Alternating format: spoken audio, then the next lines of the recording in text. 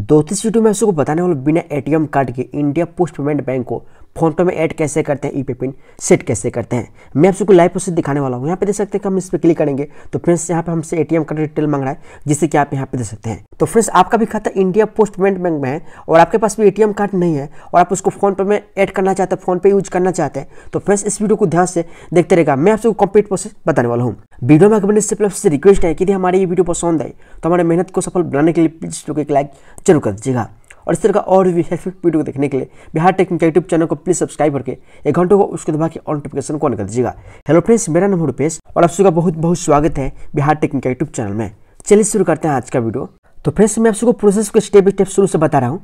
तो फ्रेंड्स इसके लिए सबसे पहले आपको फ़ोन पर एप्लीकेशन को ओपन करना है। या अपने फ़ोन पर एप्लीकेशन को डाउनलोड नहीं किया है तो फ्रेंड्स इसका लिंक वीडियो के क्वेश्चन बॉक्स में मिल जाएगा। उस पर क्लिक आप बहुत ही आसानी से फ़ोन पे ऐप को डाउनलोड कर सकते हैं। फ़ोन पे एप्लीकेशन इंस्टॉल हो जाने के बाद इसको ओपन कीजिएगा। इसके बाद क्वेश्चन कुछ इस तरह करने पे यहाँ पर आपको अपने मोबाइल नंबर डाला है। ध्यान देना है, यहाँ पर आपको वही मोबाइल नंबर डाला है जो आपके इंडिया पोस्ट पेमेंट बैंक खाते में मोबाइल नंबर लिंक है।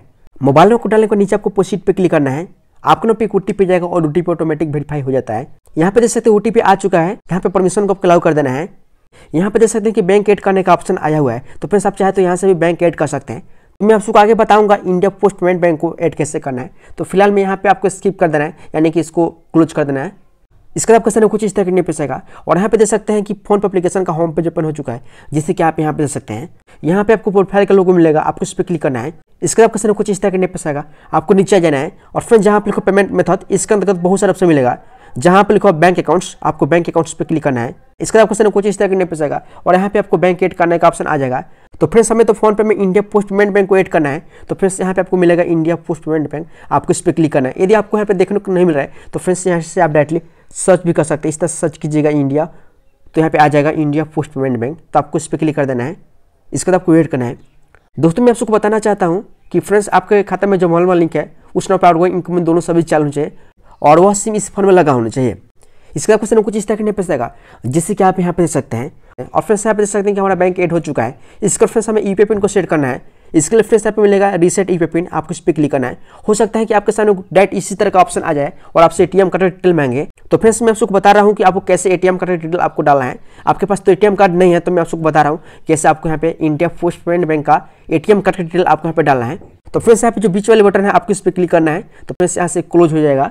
इसको फ्रेंड्स आपको अपने फ़ोन में एक एप्लीकेशन को डाउनलोड करना है, जिसका नाम है आई मोबाइल दोस्तों, ये India post payment bank official application है मोबाइल बैंकिंग आपको इस एप्लीकेशन को डाउनलोड कर लेना है। गूगल प्ले स्टोर से बहुत आसानी से डाउनलोड कर सकते हैं, या फिर इसका लिंक वीडियो के डिस्क्रिप्शन बॉक्स में मिल जाएगा। दोस्तों फ़र्स्ट टाइम ओपन कीजिएगा तो रजिस्ट्रेशन करने का पेज आता है। तो फिर से आप जानना चाहते हैं, इसमें रजिस्ट्रेशन कैसे करते हैं फ़र्स्ट टाइम लॉगिन कैसे करते हैं तो फिर इसमें मैं ऑलरेडी वीडियो बना चुका हूँ। उस वीडियो को देख सकते हैं, उस वीडियो का लिंक इस वीडियो को, इस वीडियो के डिस्क्रिप्शन बॉक्स में आपको मिल जाएगा। उस वीडियो को देखकर आप बहुत ही आसानी से इसमें आप रजिस्ट्रेशन कर सकते हैं। तो फ्रेंड्स, यहाँ पे आपको चार नंबर का पिन डालना जो आपने सेट किए हुए हैं। इसके बाद क्रिएट करना है। इसके बाद क्वेश्चन कुछ इस तरह नहीं जाएगा और यहाँ पे देख सकते हैं इस एप्लीकेशन का होम पेज ओपन हो चुका है। इसके बाद आपको स्कॉट डाउन के नीचे जाना है और फिर यहाँ पे आना है, जहाँ पे लिखा माई सर्विस दोस्तों, इसके अंतर्गत आपको बहुत सा ऑप्शन मिलेगा, जहाँ पर लिखा डेबिट कार्ड रुपए, आपको इस पर ही क्लिक कर देना है। इसके बाद क्वेश्चन कुछ इस तरह नहीं जाएगा जिससे कि आप यहाँ पे देख सकते हैं। दोस्तों, यहाँ पे आपको विचुअल डेबिट कार्ड शो होता है, जिससे कि आप यहाँ पे देख सकते हैं। लेकिन यहाँ पे फुल नंबर शो नहीं करता है तो प्लस फुल नंबर को देखने के लिए नीचे मिलेगा व्यू कार्ड डिटेल्स आप इस पर क्लिक कीजिएगा। इसके क्वेश्चन कुछ इस तरह नहीं फंसेगा आपने जो चार नंबर कैंपेन सेट किया उसको डालिएगा।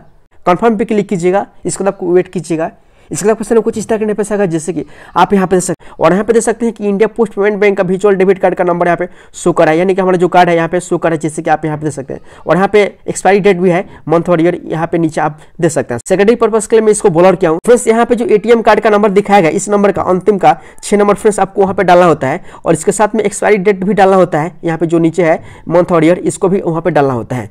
दोस्तों यहाँ पे इसमें इस तरह का विजुअल डेबिट कार्ड शो नहीं करा है। तो प्लीज़ इसमें मैं ऑलरेडी वीडियो बना चुका हूँ। उस वीडियो को देखकर आप मात्र दो मिनट के अंदर इस तरह का आप विजुअल डेबिट कार्ड को आप अप्लाई कर सकते हैं और फिर तुरंत के तुरंत आपको इस तरह का विजुअल डेबिट कार्ड शो हो जाता है जिससे कि आप यहाँ पे दे सकते हैं। और इसी का डिटेल आपको यहाँ पे डालना होता है। उस वीडियो को लिंक इस वीडियो के डिस्क्रिप्शन बॉक्स में मिल जाएगा। तो फ्रेंड्स यहाँ पे देख सकते हैं कि मैंने अपने एटीएम कार्ड का विजुअल डेबिट कार्ड का अंतिम का छह नंबर यहाँ पे डाल दिया हूँ और इसके नीचे एक्सपायरी डेट डाला हूँ जो विजुअल डेबिट कार्ड पर लिखा हुआ था जो मैं आपको पहले दिखाया।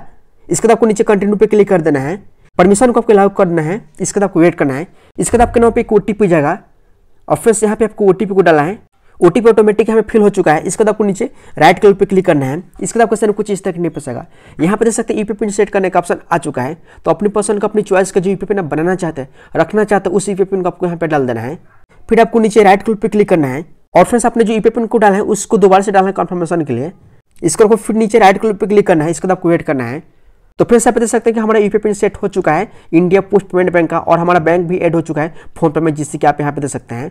और फिर फ़ोन पे से अपना बैंक का बैलेंस चेक करने के लिए आपको यहाँ पे चेक बैंक बैलेंस पे क्लिक करना है। फिर यहाँ पर आपको अपना बैंक के नाम पे क्लिक करना है। और फिर यहाँ पर आपको अपना ईपी पिन को डालना जो अभी आपने सेट किए हैं। ईपी पिन को डाल देने के बाद आपको नीचे राइट क्लिक पे क्लिक करना है। इसके बाद आपको वेट करना है।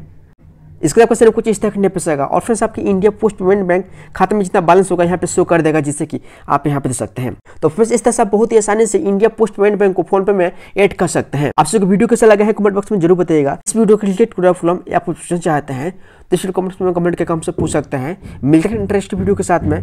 Thanks for watching this video have next day